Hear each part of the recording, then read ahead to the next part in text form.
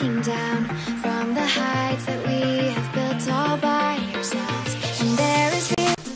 Yo, what's going on, trips? Weetles here. Welcome back. And what we have for you all today is a cool little method.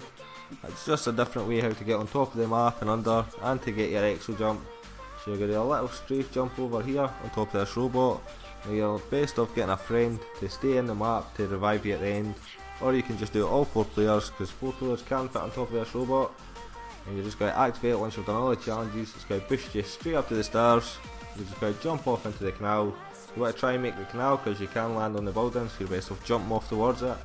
You end up in the building like Andy up there but me and Chad made it down here straight bossed it.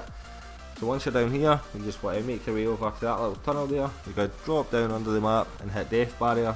That's going to take you straight to the game room play a couple games of hoops get enough points to get your ass out of there you got to respawn then Big David Hasselhoff's to come along a straight boss and revive you and actually got double jump once again so hang around, check out the rest of the video. It's found by myself, Coco Andy Movement and ChadderMan HD. We found this spot.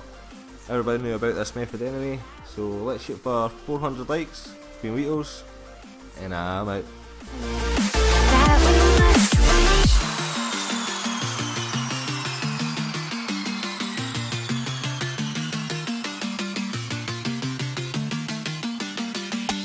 Now which way do we go is the question to ask.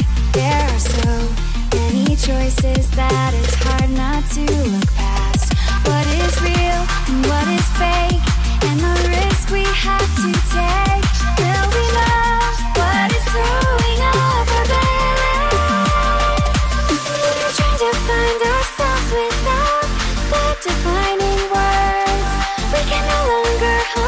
to what only makes us hurt.